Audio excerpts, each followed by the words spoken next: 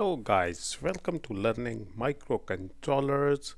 So guys, in this video I will get you started with the STM32 microcontrollers. So we will be downloading and installing STM32 Cube ID. The uh, controllers and the board that are easily available are the black pill, the blue pill, the discovery uh, on the market easily. So the cube id is used to program those boards. There is another one as well as uh, also like mxid sectra stm32 you will not need to install those because these microcontrollers are programmed using the cube id so to download it there is a bit difficult procedure as compared to other microcontrollers. Just go to your browser. I have google chrome so i log into the google chrome. And on the google chrome write down download stm32 cube id like this press enter this window pops up the first link click on it and then wait for it. See there it is mentioned it's a cube id you do not need to download the mx id because the boards we use are like these one like uh, stm32 black pill this board. Uh, so these boards are easily available at our places these one. So uh, or also the, uh, discovery discovery boards uh, these one or the nucle nucleo boards like these one these one. They all are programmed using the cube id there is another one the mx id you do not need that for these boards. That that those are for the latest ones like mx series of boards. So click on get software. There the good thing is this id is completely free but the problem is you have to log in to get this id so i click on now you can see various options available only this one the windows installer because we are going to use it on the window. You click on the get latest version once you click here, it will ask you for this agreement. Click on accept. Now, either you create your account or you log in if you have already. I don't have any. I click on create a STM32 account. Salutation, Mr. Write the name, learning, last name, microcontrollers, email, microcontrollers dot learning at the rate of gmail.com email confirmation microcontrollers dot learning at the rate of gmail.com so this is the name. Function uh, just uh, write any that you prefer. I just write uh, anything uh, that suits. Okay just a professor. Okay that will do fine. So here you have options. Engineering. Okay engineering will do also fine okay the next thing is the university or the company. You may write any i write learning microcontrollers. And industry is anything you may write. If you have any else you may write yourself as a student or some something like that. I call semiconductor something. Okay country. I am in pakistan right now. Okay zip code just the zip code of the city. Now that is a problem here. Unlike the microchip, uh, mikroC and the Arduino, you need to fill these forms to get the full access to the STM because it's a free software. They don't ask for money, but they ask for information. Just write the phone number if you have any. So for the phone number, I write 3105386. Okay, is it necessary? I don't think so. It's necessary. So it's not necessary. Okay, I accept. Click register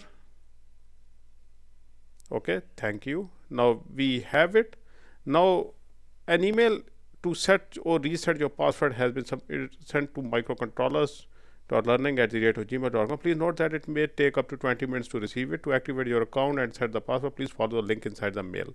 Now you have to wait for the mail. So there will be an email coming. So we have to wait. So guys there we have the email. See this email i got from the STM32 this one STMicroelectronics please validate your email address. Click on validate now. Here you go. This window pops up. Set up your password whatever the password you prefer. Write any password you prefer. I write one. Any password. Okay I write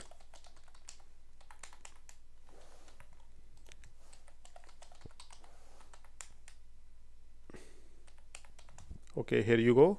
Click on submit. Now because it's a free software you have to go through this process else you will not be able to get to the full functionality of it. So the registration has been completed. Now you have to log in. You have to also log in on the uh, during the programming as well else you will not get the full features. Okay write the email micro controllers dot learning at the rate of gmail.com password okay there we go. Okay now we are logged in. Okay we are logged in.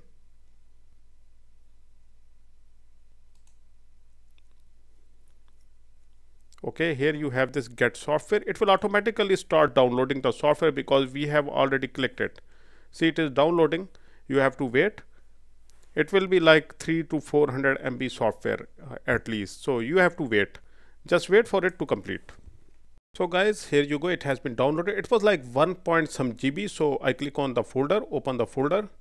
It was 1.09 GB. So it is as per today that is 21st of March 2025. It gets latest updates every like every week I will say. So you just keep on checking.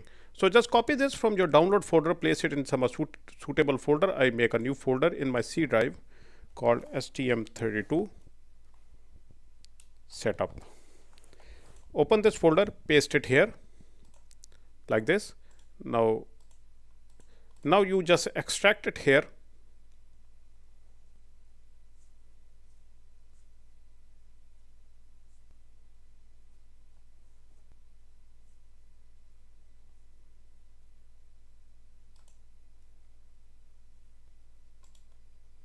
okay extract here. Wait for it to extract the setup. Unlike others this is a bit complex thing to download and install. Now here you go. It's extracted. You run the setup.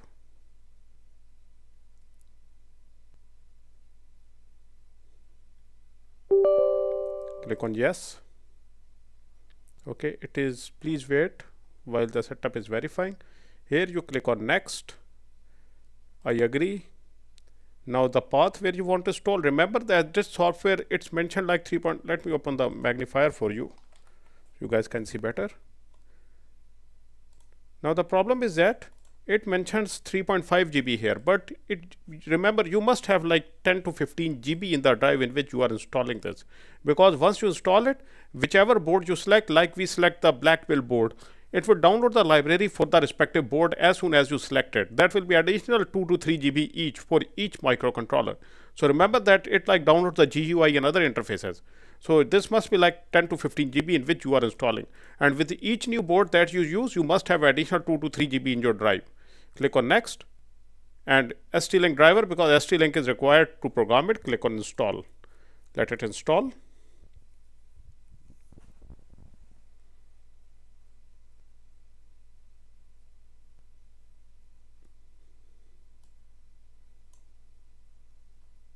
Okay we wait. It uh, I don't think so it will take a lot of time.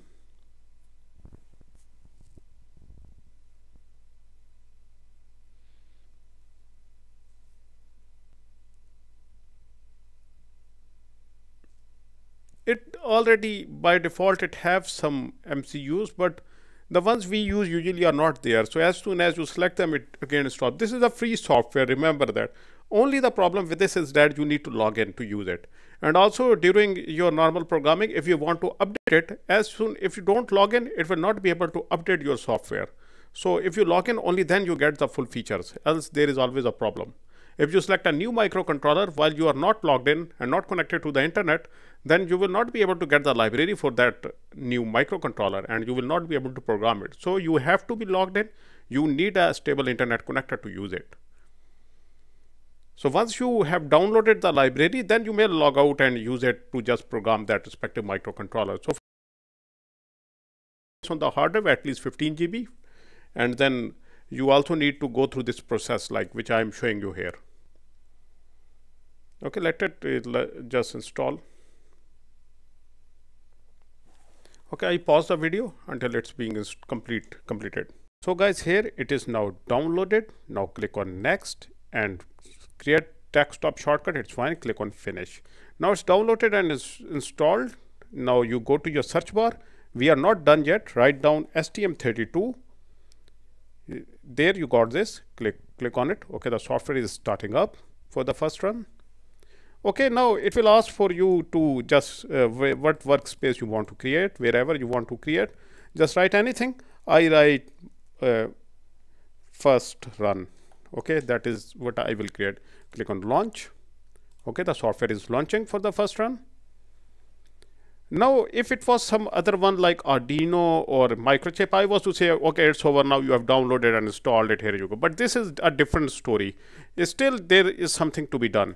Okay once you run it for the first time it shows up this page just minimize it.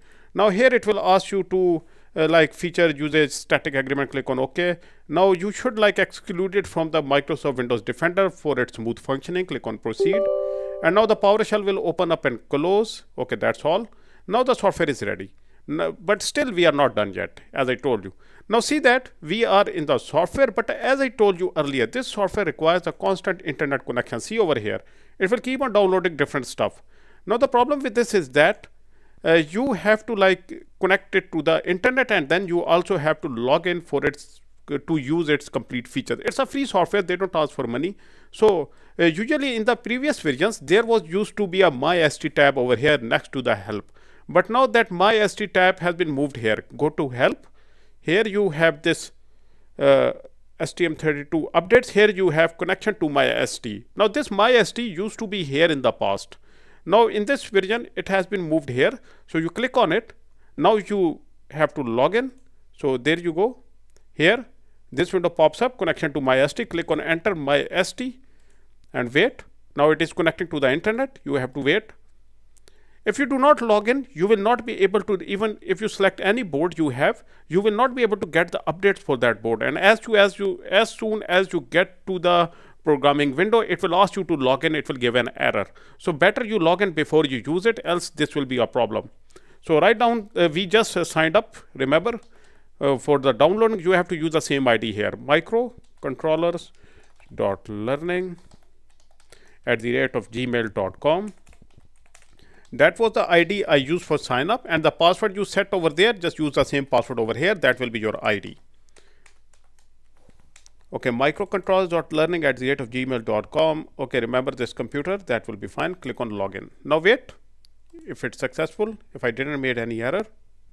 Okay, we are now logged in. Now you are ready to use this STM32 cube ID to program anything you want, whatever you want to prefer. Now you are successfully into it. Now all the features are unlocked. You need two things. One, you need to be connected to the internet. Another one is that you must have logged in.